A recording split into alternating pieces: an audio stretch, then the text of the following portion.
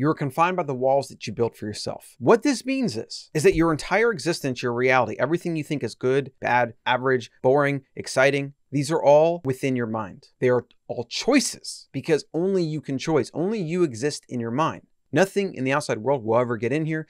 You can never outsource your feelings, your thoughts, and emotions to somebody else, even to be influenced by someone else or to say, I trust you, I believe what you say, I'll accept that. That is a choice. It still comes back to you no matter how you spin it. Everything starts and ends with you and in your mind. Now, most people don't understand this. It's scary, it takes responsibility, but it's also great power, immense power. Because when you realize you can control your thoughts to be anything, life can be heaven or hell. It's all about what you choose. This is why all of the religious philosophies and everything back to the dawn of humankind when we've been able to read and write has been focused on how do we live a certain way? How do we think a certain way? What is good and bad?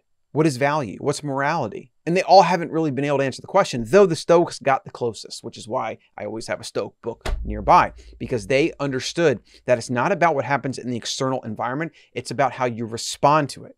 Response is choice. Actions are choice. The fundamental delusion of our species is that we do something and then there's a sense of morality in nature, in the universe, to which we should get good things back to us. We want good things, we should get them.